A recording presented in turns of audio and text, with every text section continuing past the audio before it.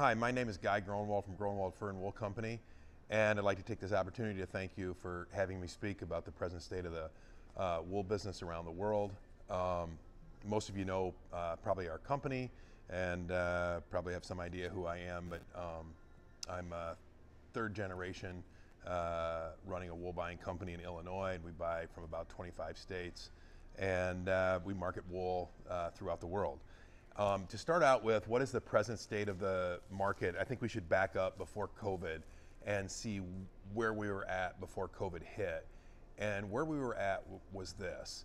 Um, wool production had been declining, you know, for the past 30 years around the world, and use of wool, um, you know, has has has increased in in some areas and decreased in others.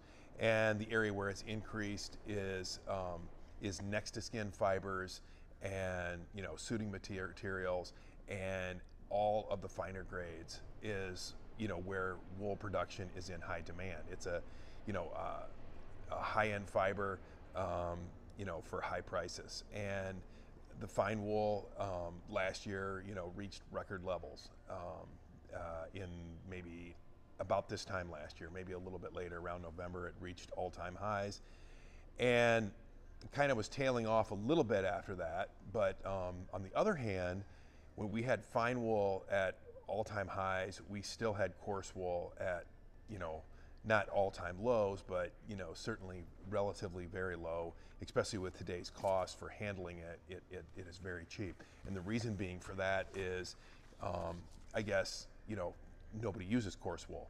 Uh, wool carpets aren't used. Um, you know, the wool sweater market, you know, the coarse wool sweater market. You know, if you see a sweater and it's made out of wool, it's very thin. It's it's and, and that's typically made out of out of fine wool fibers. Um, the old coarse, you know, uh, big knot knit is is just not popular. When I was in college, you know, every kid in my floor in college had four or five sweaters that were, you know, you know, very thick and uh, use coarse wool. That uses up a lot of coarse wool. So um, I guess you know you can go to any city you want and go shopping, and you, or if you can go shopping because of COVID, and it's very difficult to find a coarse wool product. So that's why the coarse wool market was so poor.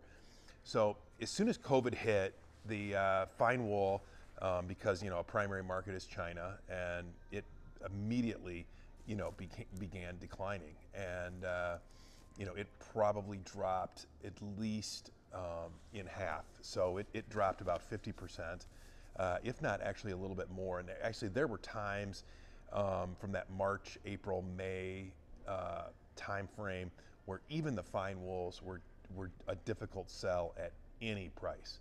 Um, let alone coarse wool. I mean, you absolutely could not market coarse wool. We couldn't sell it to anyone.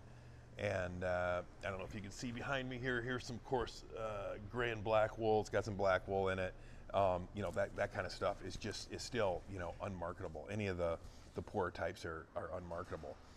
Um, so that leaves us the, the, the, fine wool has recovered somewhat. Um, I'm out in my factory, so we got some guys moving through here. The uh, the fine wool has uh, uh, you know come back a little bit uh, from the low and is, is actually very saleable right now. And I think that's just a reflection of China is getting back to work um, I talk to China four, or five, ten times a day, and uh, you know, basically nobody wears a mask there. Everybody is just doing everything like normal, and they're kind of expecting uh, a normal shopping season for this fall. The rest of the world, you know, it's a different story. But you know, with with wool production, you know, still not great and not going up in any way. Um, these next to skin and uh, fibers that can go next to skin, and uh, finer wool fibers, you know, are, you know, I, I, I guess are, you know, gonna, you know, get a little stronger, and you know, could possibly, you know, get stronger yet. Um, the coarse wool, it's it's difficult. Um, although they're marketable now, we can sell them. Um, the price is just, you know, can barely cover our, our pickup costs, our uh, grading cost and our packing cost. And you know, we typically, when we like if we go to China, you know, we have to pay the shipping cost. Um, so I've kind of talked about you know where the value is, and I, I realized in the area that this is gonna, this video is going to be shown. You know, a lot of guys have coarser wool, but there's just there's very little. Um, you know, there, there, there's very little we can do about it unless you know demand changes or you know styles change. That that would be you know, a, a, uh, that coarse wool would be an, a more attractive style for, you know, some type of fashion, you know, change. Um, the, and I, I did also touched on China. Uh, last year we were exporting some to Italy, but our primary um, export market is still China. You know, much of the world's uh, wool production uh, capacity still remains in China. Um, even even though there was a trade war and it was, you know, our, our tariffs went up this year twice um, making it much more difficult to trade with China. I mean, and that was that was our problem. While you know the price was decent last summer, is you know we constantly you know we you know we're ready to make a sale, and then all of a sudden you know the tariffs would go up because of retaliatory action on the part of the Chinese. So that that made it difficult um, while while the price was good. Um, I know that they want to know if the stimulus, you know, that uh, some of the producers uh, received uh, helped any. Well, I mean, it didn't obviously didn't help me, but you know, I guess you know you got some, uh, you know, uh, money on your wool. I, I and, and, I believe you have to have a scale ticket or a, a sales ticket for that.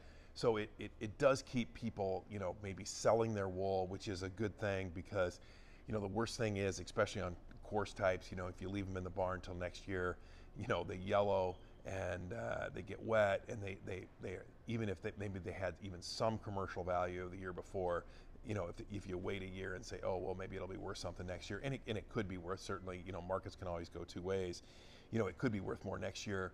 Um, but the problem is then, you know, the quality, you know, has deteriorated. So from the from that perspective, you know, if guys wanted to get a, a scale ticket or a sales ticket um, to get their um, government money, it, it was beneficial uh, to us. So we don't, you know, we're not leaving so much on the farm. The, another question they kind of wanted me to touch on, and maybe I'm not the best person to, to answer this, but um, you know, are we importing wool into the United States? And you know, we, we're certainly importing wool into the United States because you know, most of the, you know, wool products that we're uh, buying, you know, we're, we're importing in, in a finished form. Um, you know, uh, so if you go buy a suit and it's a 80, 90, or 100% wool suit, you know, chances are that suit is going to going to have been made in, in China or somewhere in the Far East. So, you know, that's the way we import most of our wool. I mean, we do import, um, you know, because there is some clothing production left in this country you know, and, and we do import, you know, for that that you know better quality um, clothing, and you know, and some of the hosieries are like I said, next to skin um, uh, products. You know, that wool is. Uh, is sourced outside of uh, the United States because we, we just pure and simply don't produce enough fine wool um, to even meet the demands of, of probably of the American uh, you know finer wool market. Um, and the production in the United States, I, I said that you know we're, we don't even produce enough for the United States um, as far as the fine wool goes. Um, and, and what does our production numbers look like? And, and I see, you know, as far, I mean, sheep numbers is, is a little bit of a difficult thing for a wool guy to tell. And that sounds kind of strange, but that's because there's so many hair breeds now that people are raising. You know, some areas it's 80% are hair breeds. So we don't know actually how many sheep are raised but certainly wool production is is going down. Um, you know, producers just seem to get older and older every year, and you know, more and more people bring in their wool and say, "Yeah, this is the last time I'm, you know, uh, going to be bringing my wool in. I'm not, I'm not, uh, you know, I'm not raising sheep anymore. My kids, you know, they they live off the farm, and you know, we're not doing it anymore. So." You know the sheep industry, you know, is in peril as, as far as you know as far as wool goes. You know the the the meat business, you know, may be a different story. And I know some areas of the country, um, you know, meat production for you know sheep is going up. There's a, certainly a great ethnic market, but a lot of them buy the lamb smaller, and hair breeds are fine. Um, you know, they don't necessarily work for you know uh, a, a, carcass that uh, um, you know a restaurant would want, or, or the cuts that a restaurant would want. But for the for the market thereafter, the hair breeds are are absolutely fine. So, so it is, uh, you know, it is a declining uh, uh, market in the United States as far as you know, as, as far as the wool business. It's, it's, it's, it gets to be a smaller pie every year. So that that also you know makes things difficult. You have to spread your costs over smaller and smaller uh, amounts of wool.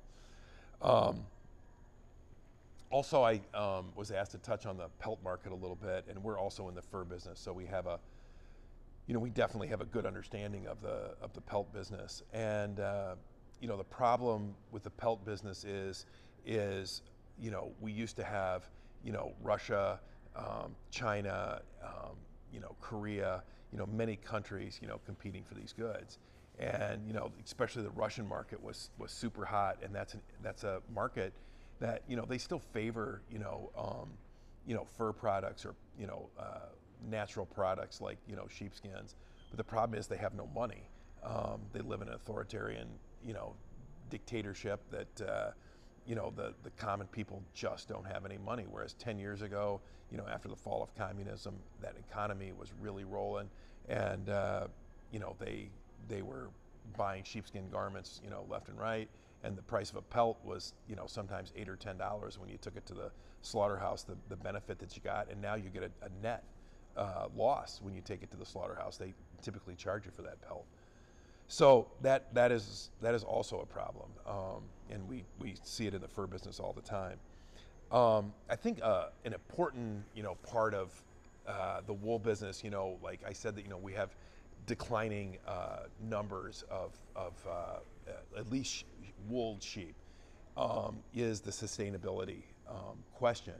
And that, that what, what that entails is we have a new generation of people in the entire world that are looking for sustainable products. And you know, we used to look at like animal rights people or maybe that um, uh, segment of society as anti-sheep. And yeah, they um, they were, you know, they are a, a bit anti-sheep in that, you know, um, they don't think you should probably raise anything.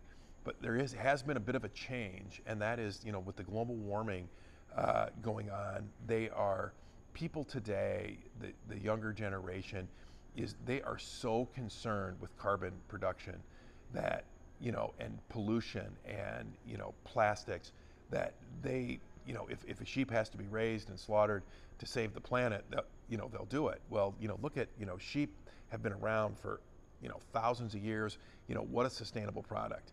You know you, you use it and you know if it does go into a landfill, you know it uh, you know a few years and it's gone. And uh, the other thing is is is that product that you do buy that that sweater I talked about or you know that wool product. You know they typically last you know for you know years, and uh, it is the antithesis of fast fashion.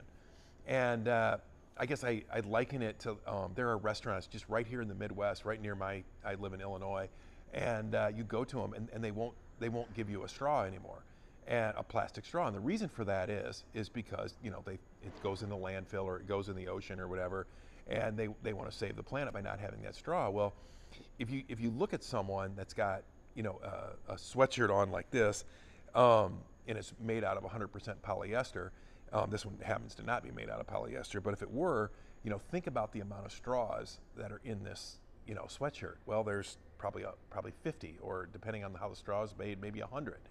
So the consumer is starting to understand that um, that this fast fashion, mostly made out of very cheap, you know, petrochemical products, is a detriment to the environment, and we are we are seeing that you know, that the consumer will, you know, will seek out products that are environmentally sustainable.